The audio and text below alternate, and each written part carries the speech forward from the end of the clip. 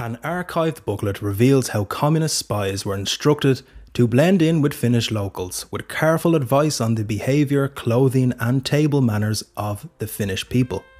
Pages from the Cold War era training document Life, Morals and Customs of the Population of Finland was first posted online in early 2020. Although not attributed, historian and Soviet archive expert Edward Andrushenko says the manual is almost certainly authentic. Andrushenko believes the document was probably made in the 50s or early 60s and appears to have been leaked by someone with access to a Soviet library but without permission to publish such material. In today's video, guys, I am going to go through this kind of weird but hilarious guide to how to be a spy in Finland. Let's start this guide off with how the Finns eat. Use of a napkin, placed on the knees but not on the collar. You can wipe your hands and lips. This is how they eat with a fork. Do not assist yourself with a knife. This is how they hold a fork and knife. Use of a knife and fork. Cut roasts and appetizers into pieces as they are eaten. Hold a small piece with the fork. This is how they hold a knife.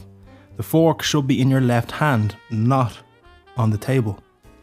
Thus, they hold the fork. It is always in the left hand. Take bread with your hands, then put it on a plate on the left. A knife and fork on the left and right on the plate mean that the visitor continues to eat. While eating, bread is eaten with butter. Balls of butter are on a plate on the right. A ball of butter is taken with a knife, which is on the left plate, put on the bread and spread. Then the knife must be put in its original place. Lunch, first course, soup, broth. In front, there is a shared plate of appetizers. Snacks are taken as needed with a special fork or a spoon on the shared plate. The first course is eaten with a spoon from a plate. Often the broth is served in a special bowl with two handles. In this case, the broth is drunk like tea over the edge of the bowl. The bowl is held by the handles with both hands. A soup is eaten with a spoon from a plate. A broth is often served in a special bowl. In this case, the broth is drunk like tea, again over the edge of the bowl. The bowl is held by the handles with both hands.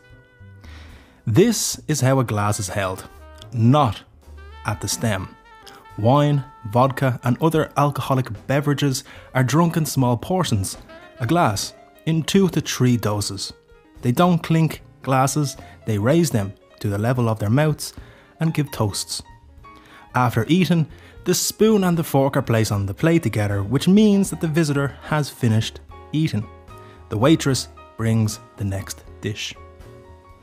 Cafeteria with a buffet. Lunch fee is around 400 to 500 markas.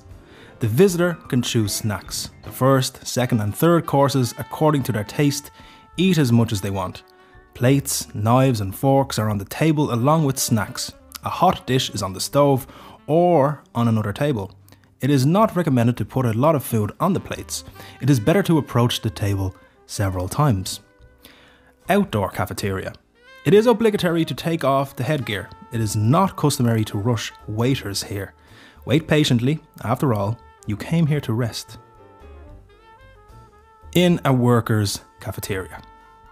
Also, in a restaurant, cafeteria, and hotel, it is customary to pay 30 to 40 markas for a cloakroom attendance service. Table setting for coffee. There is a sugar spoon in a sugar bowl. They take sugar with the spoon, but do not stir it in the cup. Don't take a coffee pot. This is a waiter's job. Sit and they will pour you a drink. Pour cream into your coffee by yourself to taste. Do not abuse cream and sugar. They drink black coffee more often. Sugar is taken with a shared spoon. It's stirred with a spoon lying on a saucer by the cup. It is usual to put two to three sugar lumps one lump is equal to one fourth of a sawn sugar piece. Sawn sugar is one of the common names of Soviet made lump sugar. If there is no spoon or tongs on the sugar bowl, sugar is taken with hands. It is not customary to take sugar from a sugar bowl with your own spoon. Stirring coffee. Do not ring with a spoon. Do everything quietly. Do not draw attention to yourself. Eating a cake. It is taken with a spoon, which is used to stir sugar in a cup. On the left, there is a creamer. On the right, there is a coffee pot. Now we move on to clothing. Tying a tie. Please note the knot must be small. Reading a book. Don't sprawl. Keep yourself humble. Wearing a sweater, vest under a suit. Pay attention to the hair and mustache. On a sweater, all buttons are buttoned, which is not usually done while wearing a jacket. A sweater. It isn't tucked into pants. A sweater is closed, but there is still a tie. A closed sweater, no tie is needed here. A sweater, such as a sports sweater, here is a light scarf instead of a tie. A summer suit with two buttons. It's usually fastened with one inner button, flapless pockets, the trousers are narrow. Wearing a suit. The vest buttons are always fastened the pocket flaps are untucked. A suit with a jumper. Look how a pocket square is worn. Wearing a hat. A jacket is not buttoned. Now, what about at a bus stop? Pay attention to people's clothing and behaviour. The usual headgear of rural areas residents is a kepi with a stem. At the market, even being dressed in a good suit, they wear backpacks. Waterproof short raincoats. Shoes with pointed toes must always be clean. For a man, his shirt collar, cuffs, and shoes are a special concern. They must always be thoroughly cleaned. An elongated raincoat. It is rarely worn, mostly by the elderly. Pay attention to wearing mufflers, gloves, and a hat. As a rule, the brim of the hat is trimmed with a braid. Holding a removed headgear and gloves. A belted coat wearing a scarf, pay attention, the headgear's top is held away from you. Wearing removed gloves. Pay attention to a ring. Is usually worn on the ring finger of the left hand, the hand of the heart. A demi season coat. Look how they wear a muffler or scarf. A demi season coat again, worn right on top of a sweater. A winter coat, a pushkin hat with a round collar. Here is a uniform of a glass factory worker. Pecks are common footwear for Lapland residents. A hunter's uniform is long rubber boots and a jacket. Now we move on to infrastructure. A tram. Get on the tram where others board usually at the back platform. It is customary to walk on the right side of a sidewalk. You should walk slowly, waddling a little. A bicycle is a common form of transport in rural areas and small towns. This is how bicycles are left on the street if there are no special stalls for them. Here is a taxi stop. A small house on the left is a toilet. The nearest entrance is for women. The farthest is for men. Sign says, Naisille Miehille. This is a paid toilet. In the booth with the sign taxi, there is a taxi call machine. Here is also a taxi stand. Make sure to follow the queue. A petrol station. A long distance bus. Entrance is at the back platform.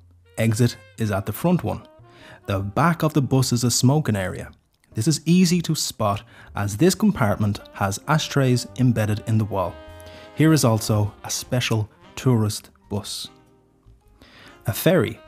Note how bicycles and personal belongings are attached to the bus on the roof.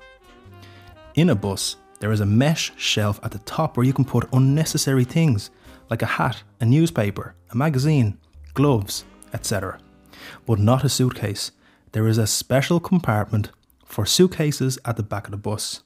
Before you sit next to someone, make sure you ask for permission. Here is a stand for public messages, advertisements. Next to it, there is a telephone booth. Recreation in a garden or park. To sit down next to couples or women is inappropriate. It's better to look for free space. A bicycle is the main means of transportation in the countryside and small towns. Bicycle is the main vehicle in countryside and small towns. A hotel exterior. State flags of foreigners who have booked hotel rooms are hung on the building. Here is a hotel for two people. The price is 2,500 to 3,500 Finnish markas. There are three call buttons in the room by the door. First one is for a porter, the second one is for a waiter, and the third one is for the courier. Here is the interior of a Lutheran church. Worship in the Lutheran church. Worshippers sit on benches with prayer books in their hands, do not cross themselves, and do not bow.